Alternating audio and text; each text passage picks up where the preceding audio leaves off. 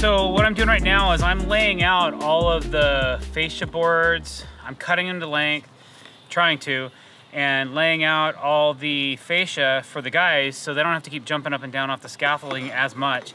So what I'm doing right now is I'm pre-drilling. We have color matched screws, or a screw that we found that we like the color of, that looks pretty good on this board, but they stick through too long. They're, they're, they're a two and a half inch screw, so they poke through the inside of the framing, uh, the outside rim boards. So we cut all the screws down to two inches, or about an inch and a half, or something like that. So they don't poke through the backside of the framing. And then that way we don't have to go back and grind them all off because it's hard to get the grinder in certain spots. And when you look up, you see all these screws poking through. So we thought we'd cut them down. But because we did that, we have to pre-drill the holes a certain way so that when this screw tightens up, it instead of it because it'll stay like this unless we cut this relief cut in it then it'll go down flush. So that's what I'm doing is trying to make it easier for these guys to be able to lay out their or to install the the boards and I'm trying to get the layouts done amongst the chipmunks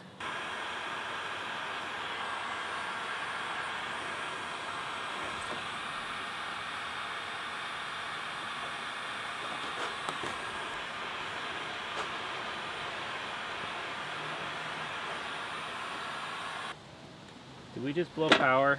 So I had went to put this up on the scaffolding and I dropped it and it dinged up this end, but we used some heat and we're able to mold it back into place so I don't have to replace this board because each one of these fascia boards is about $100 a piece. So I, it's a $50 piece of material really. So for me to have to replace it just because of one ding, $50, I'm pretty happy that turned out the way it did. The way we wrap our decks is a little bit different than a lot of people. A lot of guys will just take the deck boards and run them past the deck and then butt their fascia below it and call it good. We like to do a double step fascia. It adds a really nice detail to the look of the deck. We like to bring all of our fascia boards flush with our deck boards and then we put a piece of thinner fascia below that. So we Cortex the upper section because it's actually a solid deck board, not grooved, for the top section. And then the lower section of the fascia, which is what I call the double step, is out of a piece of 1 by 12 that uh, comes up to 12 feet long, or it comes in one length is 12 feet. And so we kind of stagger it so it has a staggered look.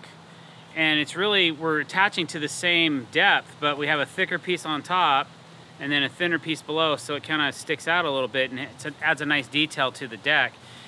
And I don't like running 12 inch wide fascia boards solely without because the miters never stay together. Um, you can get some oil canning in it and that kind of thing. I've already had some people comment on the screws we're using. These are TimberTech branded TOPLoc screws. They are recommended for doing what we're doing. We're putting them every 12 inches.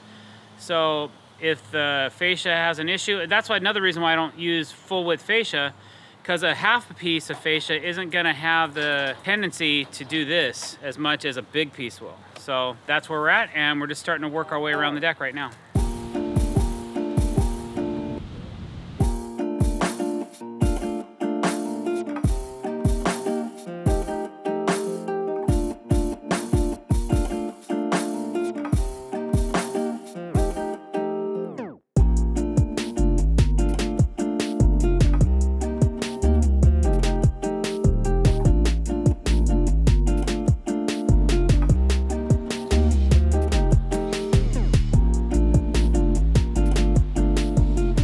Guys, thanks for watching. I really appreciate it. Uh, hopefully you learned a little something about how we hang fascia and how we install it and the look we're going for.